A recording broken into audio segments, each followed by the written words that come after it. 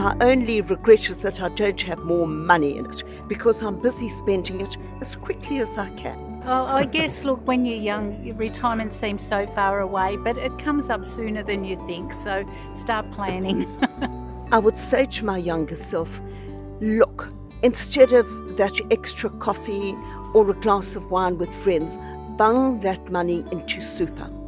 I would put much more money into super. I really, and that is genuine. I'd just say, just put as much as you can into super while you've got the money. my younger self, I'd be, I'd be starting uh, consolidating my super from all the different companies that I've been working with. Look at the uh, higher profile companies, the super companies such as uh, CareSuper, or encouraging myself, that's me, to uh, do this earlier, do it much earlier. I have no regrets. Life is good. It has its challenges, and you know, you turn round and you bite them in the bum. That's what you do.